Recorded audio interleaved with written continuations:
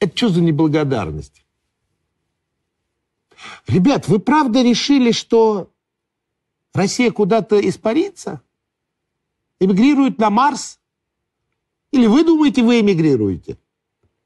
Я говорю свое личное мнение гражданина Российской Федерации, Тигран Эдмондович Киасаян. На Украину гляньте внимательно. Подумайте серьезно. Ну и думаю, что нашим ответственным лицам тоже надо переоценить и пересмотреть уровень взаимоотношений. Потому что, дорогие мои, если вы считаете, что можно дальше быть такими хитрожопами, и вам за это не будет ничего, вы ошибаетесь. Мир изменился. Все изменилось. А поезд уходит.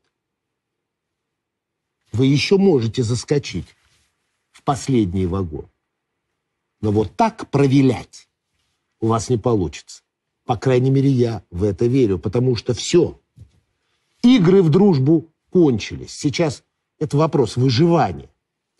Идет война.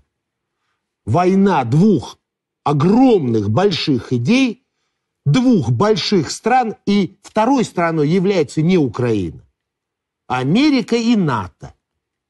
А вот всем остальным, особенно братским странам, республикам, нужно определяться и занимать сторону.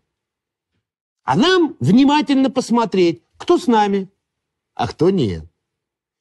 И не определившихся, как мне кажется, подающих такие вот однозначно недружественные, это раз, или неоднозначные сигналы. Ну что ж делать? Относить к нашим врагам. По крайней мере, в экономических и информационных доктринах. Хватит. Хватит, ребят. Наигрались безвозмездную помощь. Спасать вашу власть в Казахстане. Бардак ваш прекращать. А вы парад отменяете? Серьезно? Я правда серьезно?